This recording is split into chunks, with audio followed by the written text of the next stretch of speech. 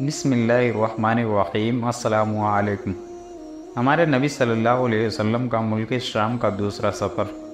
जब आप सल्लल्लाहु अलैहि वसल्लम की उम्र शरीफ तकरीबन 25 साल की हुई तो आपकी अमानत व सदाकत का चर्चा दूर दूर तक पहुँच चुका था।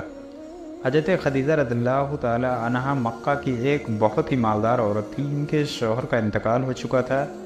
इनको ज़रूरत थी कि कोई अमानतदार आदमी मिल जाए तो उसके साथ अपनी तिजारत का माल व सामान मुल्क शाम भेजें।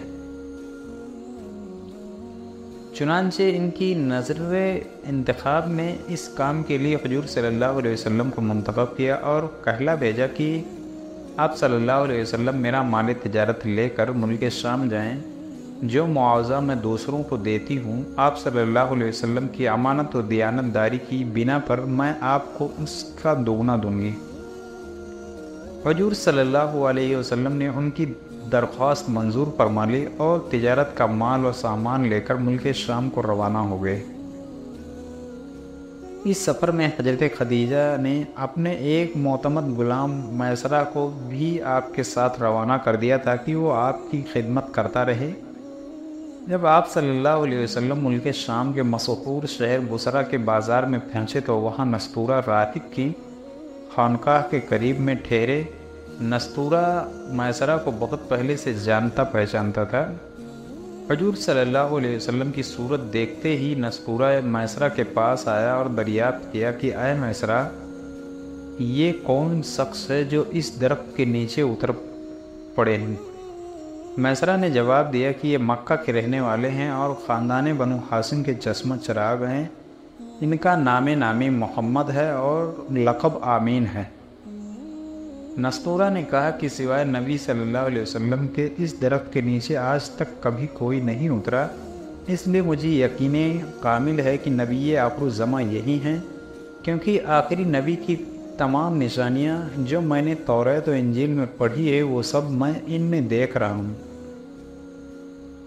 काश मैं उस वक्त तक ज़िंदा रहता जब ये अपनी नबूत का ऐलान करेंगे तो मैं इनकी भरपूर मदद करता और पूरी जानिसारी के साथ इनकी खिदमत गुजारी में अपनी तमाम उम्र गुजार देता।